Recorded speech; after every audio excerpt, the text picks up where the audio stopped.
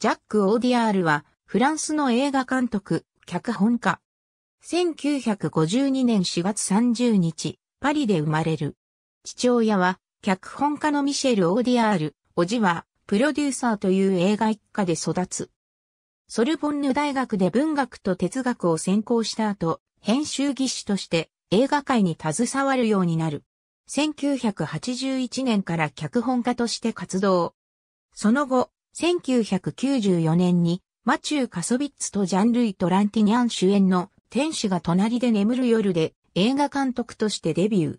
本作で第20回セザール賞の第1回監督作品賞、ジョルジュ・サドゥール賞を受賞。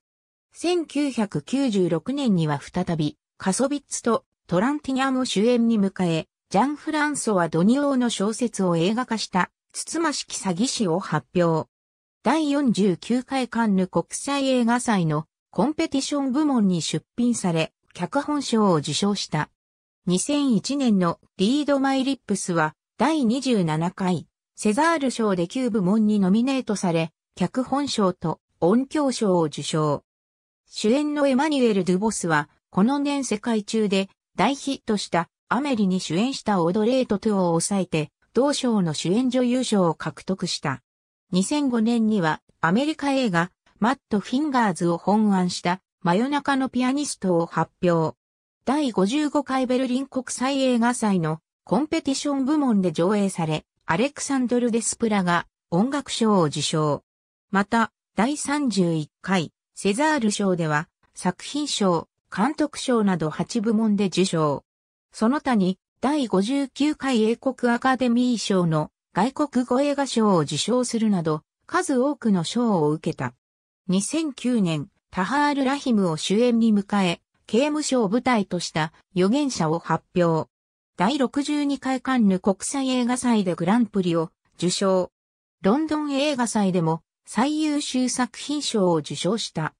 第35回セザール賞では、同賞の最多記録に並ぶ13部門にノミネートされ、作品賞、監督賞を含む9部門を受賞。第82回アカデミー賞では、外国語映画賞にノミネートされたが、受賞は逃した。その他、同年のルイデリック賞も受賞している。2012年、マリオン・コティアールを主演に、君と歩く世界を発表。第65回カンヌ国際映画祭のコンペティション部門への出品のほか、ロンドン国際映画祭では2度目となる最優秀作品賞を受賞。第38回セザール賞では9部門にノミネートされたが、脚色賞など4部門での受賞に止まった。2015年、タミル人の移民を描いたディーパンの戦いが第68回カンヌ国際映画祭のコンペティション部門に出品され、悲願のパルムドールを受賞した。また受賞の際のスピーチで、過去コンペティション部門に、預言者、君と歩く世界が出品されたが、いずれも、ミハイル・ハネケ監督が、パルムドールを受賞していたことから、ミハイル、今年、映画を作らないでいてくれてありがとうと語った。